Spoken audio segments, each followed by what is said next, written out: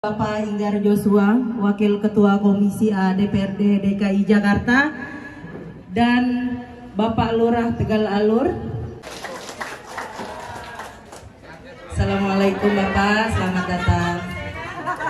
Di antaranya yaitu Kelurahan Rawabuaya, kemudian Angke, Kerendang, Tegal Alur, dan uh, masih banyak kelurahan yang lainnya karena safari Ramadan ini nanti akan berakhir pada tanggal 20 April atau bertepatan dengan 28 Ramadan. Jadi Assalamualaikum warahmatullahi wabarakatuh.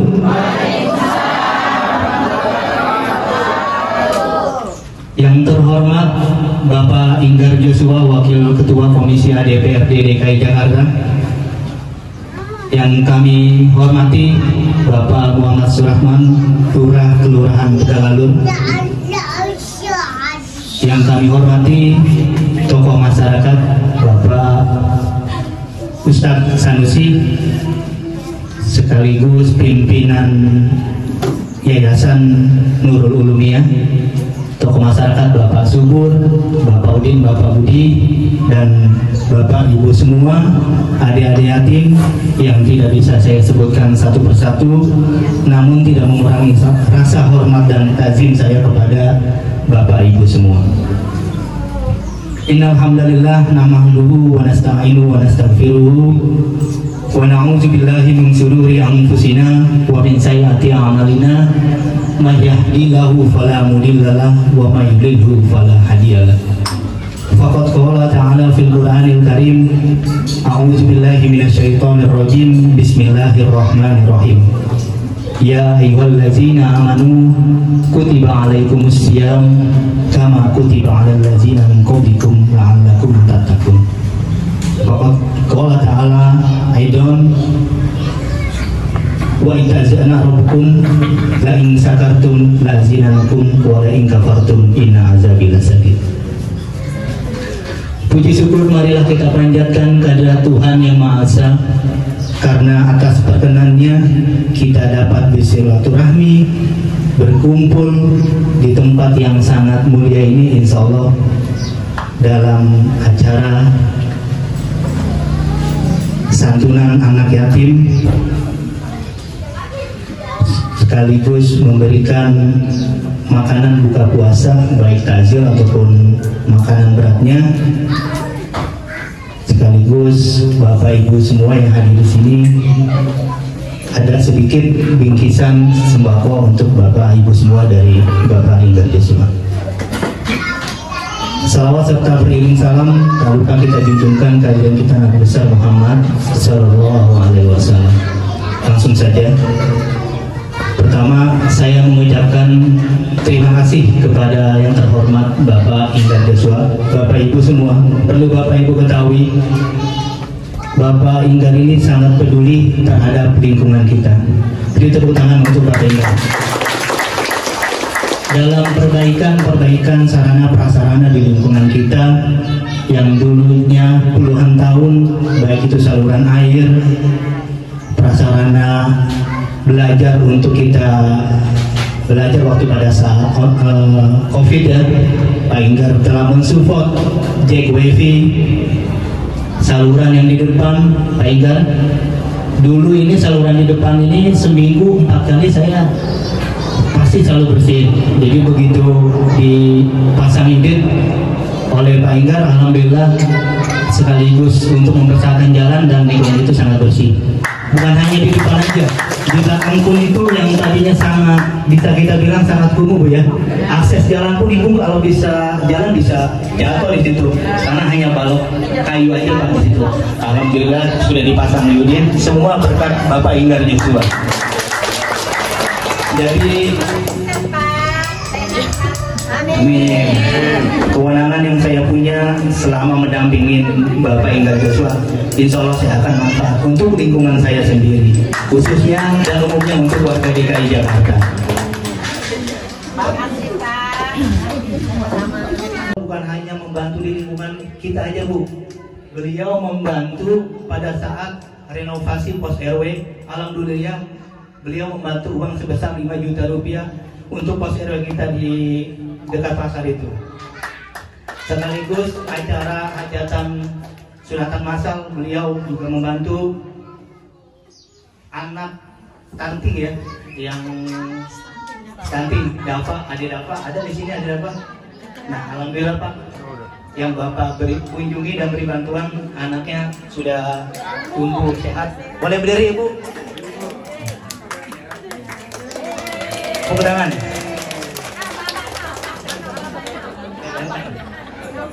Jadi Bapak membantu dan ngecek langsung memberikan bantuan alat-alat untuk membantu menunjang makan Ade Dava ini. Sekaligus warga yang di pinggiran bantaran Kali Semongol diberikan bantuan sembako juga. Luar biasa. Jarang sekali Bapak Ibu wakil rakyat seperti ini.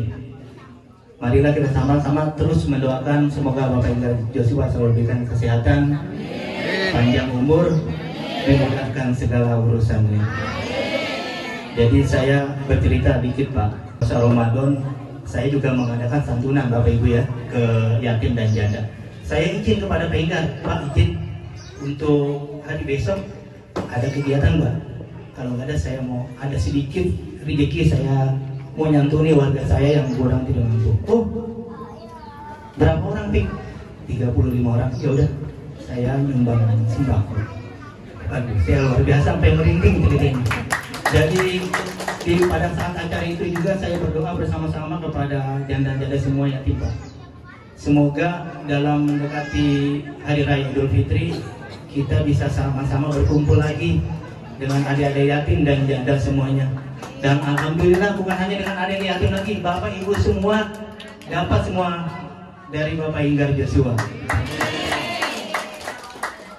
Dan niat saya mau berbagi akhirnya tercover semua oleh Bapak Inggar Joshua. Subhanallah, alhamdulillah. Itu saja yang bisa dapat saya sampaikan. Kurang lebihnya mohon maaf. Wallahumma muwaffiq ila. Assalamualaikum warahmatullahi wabarakatuh. Terima kasih Bapak RT. Sambutan selanjutnya yaitu eh, Bapak Ustadz Sanusi. Ada Bapak Ustadz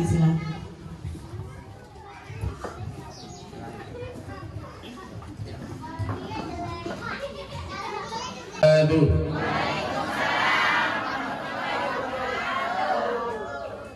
بسم الله الرحمن الرحيم.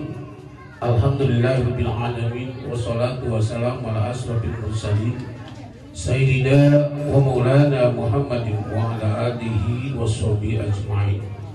أشهد أن لا إله إلا الله وحده لا شريك له وأشهد أن محمدا عبده ورسوله نبي وحده. Yang saya sayangi Pak RT saya yang paling ganteng saya kalau ngomong begitu Pak Tiga ya. Karena mungkin di RW 3 yang paling ganteng RT, RT saya. Ya paling muda ya. Dia paling muda tapi oh penuh dengan inovasi.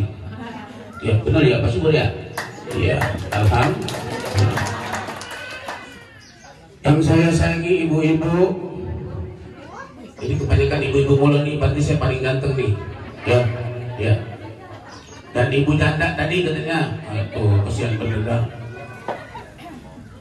dan yang saya sayangi banget anak-anakku yang sama-sama dimuliakan oleh Allah. Yatim beserta pemberian sambutan kepada kita semua yang ada di sini. Alhamdulillah Alhamdulillah. Sebelum saya lanjutkan bicara Pak Inggar ini saya udah lama kenal. Memang orangnya alhamdulillah dermawan, sosialnya tinggi. Kenapa saya bilang gitu? Sebelum maaf sebelum Bapak RT, Opi kenal Pak Inggar saya udah kenal. Karena di sini udah berapa kali kita dikasih apa namanya berupa bantuan Pak Inggar setiap bulan beras dua dua karung tiga karung dengan nama ini artinya memang bukan sekarang aja. Dari dulu bicara sosial dermawan alhamdulillah. Nggak bisa dilakukan lagi. Udah. Nah sekarang alhamdulillah kita ketemu lagi. Nah setiap tahun kadang-kadang dia datang berkunjung silaturahmi ke, ke tempat kita dalam rangka apa nah memberikan semangat, memberikan santunan dan segala macam yang kebutuhan untuk RT 13, Kelurahan Tegalur dan semuanya. Ibu semuanya, tadi saya dibisikin sama Pak Ida. Pik, tolong siapkan uang 2 juta setengah saya bantu untuk yayasan Nurul. Kita doakan, amin. Kita doakan Pak Indra selalu diberikan kesehatan. Kita nggak bosan-bosan mendoain Pak Indra ya. Kesehatan, panjang umur, dimudahkan selalu urusannya. Ya. Itu saja. Terima kasih saya kembalikan kepada MC. Ya, terima kasih Bapak. warahmatullahi wabarakatuh. Bismillahirrahmanirrahim. Alhamdulillahirabbil alamin wa bihi nasta'in ala urudinya wa dengan Bapak Inggar Joshua. Beliau ini sudah tidak asing di wilayah Tegal Alur karena beliau yang paling banyak membantu wilayah Tegal Alur. Hasilnya yang sudah bisa kita nikmati, sudah sama-sama warga nikmati. Alhamdulillah berkat beliau eh, Tegal Alur sedikit-sedikit tambah maju. Nah, Sambutan selanjutnya adalah sambutan dari Bapak Inggar Joshua, Wakil Ketua Komisi A DPRD DKI Jakarta pada Pak Inggar silakan. Terima kasih kepada pembawa acara. Assalamualaikum warahmatullahi wabarakatuh. Selamat sore, salam sejahtera buat kita semuanya. Yang saya hormati Bapak Lurah Tegal Alur, mitra saya di pemerintahan yang terus memperjuangkan aspirasi masyarakat di Tegal Alur dan pembangunan-pembangunan walaupun tadi dikatakan segera topik saya ini kan melakukan kerja-kerja di Dewan tapi tanpa Pak Lurah juga tidak akan mungkin bisa berjalan dengan baik. Kita berikan aplaus lagi. Pak, Pak Lurah Tegal Alur Bapak Muhammad Surata mudah-mudahan di usia-usia yang eh, sudah menjelang pensiun kami berharap Pak Lurah bisa terus membina Lurah Tegal Alur dan kami akan mencoba memperjuangkan Pak Lurah. Semoga tetap menjadi buah hati daripada warga Tegal Alur. Yang juga saya hormati Bapak Ustadz Sanusi sebagai tokoh masyarakat, tokoh agama, ketua Yayasan Nurul Ulumia eh, yang saya banggakan eh, yang membantu membina iman-iman masyarakat di Tegal khususnya di RT 013 juga saudara Taufik ketua RT 013 kebetulan beliau juga eh, ikut membantu kegiatan saya di DPRD kita berikan selamat. Pak RT yang lainnya tokoh masyarakat dan mungkin ada pengurus RW yang saya muliakan dan banggakan ibu-ibu majelis taklim desa wisma PKK Jumantik eh, ormas-ormas pemuda eh, yang saya nggak sebutkan satu persatu namanya namun saya muliakan dan banggakan Pertama-tama marilah kita panjatkan puji syukur kepada Allah Subhanahu wa taala, Tuhan yang Maha Kuasa atas perkenannya kita diberikan nikmat sehat pada hari Kamis ini, hari ke berapa kita puasa? Ke 22 Insya Allah sampai 30 hari genap kita bisa melakukan puasa dengan baik. Eh, saya ingin aja sedikit aja mengulas berpuasa bukan sekedar kita menahan lapar, menahan haus dan tapi kita juga harus menahan emosi. Emosi-emosi yang nggak nggak bisa kita apa ya bendung? Nah ini mulai kita tata dengan baik. Dan tujuan kita berpuasa adalah juga membuat kita itu disiplin. Membuat kita itu patuh dan taat pada peraturan dan perundang-undangan. Tapi juga kita juga harus bisa mengkoreksi apa yang dilakukan pemerintah yang belum berkenan kepada kita dan itu bisa dilakukan melalui ibu-ibu, bapak-bapak semua kepada wakil-wakil rakyat yang ada. Mana berani ibu ngomong ke Pak Lurah langsung marah-marah gitu. Ya Pak Lurah? Nah, apalagi ke Pak Wali Kota tuh Pak Gubernur. Nah kalau wakil rakyat ibu bapak semuanya yang dipercaya ada permasalahan sampaikan. Maka wakil rakyat itu akan melanjutkan apa yang menjadi kehendak daripada masyarakat. Jadi kalau kita mau lihat betapa pentingnya wakil rakyat itu, kita setiap lima tahun sekali diberikan hak untuk memilih. Memilih itu bukan memilih berdasarkan apa? Identitas, tapi memilih itu berdasarkan hati nurani yang paling dalam dan pikiran makanya ketika kita diberikan hak memilih nanti tanggal 20 tanggal 14 Februari 2024 gunakan hak pilih itu dengan baik dan benar. Hari ini saya datang ke sini ke RT 13 bukan untuk ibu-ibu memilih saya tapi ibu bapak semuanya memilih yang baik dan benar. Kalau saya nggak baik jangan dipilih. Kalau ada yang lebih baik dari saya pilih yang lebih baik. Tapi kalau memilihnya lebih jelek dari saya masa Allah Untuk santunan dan janda ini kita pisahkan karena eh, untuk yatim dan janda ada santunan juga sama sembako gitu ya Pak ya. Dan semua yang hadir juga dapat sembako. Ya. Boleh kita baca salawat bareng? Salatullah,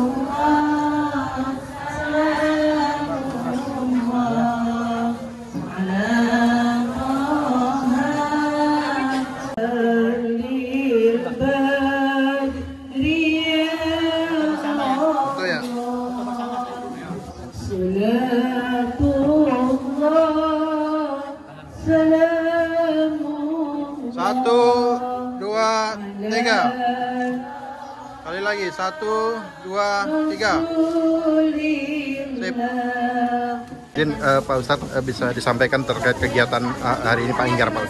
Oh, Alhamdulillah kita atas nama warga RT 13 dan 3 Tegalur mengucapkan terima kasih dan bersyukur pada Allah Subhanahu wa taala pada bahwa pada sore hari ini telah hadir datang Pak Igar Joshua selaku anggota DPRD DKI dan Bapak Lurah dalam rangka memberikan santunan dan eh, apa namanya silaturahmi untuk kita, kita semua dan ini semua mudah-mudahan kita doakan atas nama RT 13 kita berdoa mudah-mudahan Pak R, apa Pak Inggar dan Bapak Lurah selalu diberikan kemudahan diberi kelancaran oleh Allah berkahi kehidupannya dibuka apa dilancarkan rezekinya disehatkan badannya panjangkan umurnya Amin. Terima kasih Pak. Dari Pak Lurah Pak, ada eh, yang mau disampaikan Pak? Ya, saya ucapkan terima kasih atas nama masyarakat eh, warga Kelurahan Tegal Alur.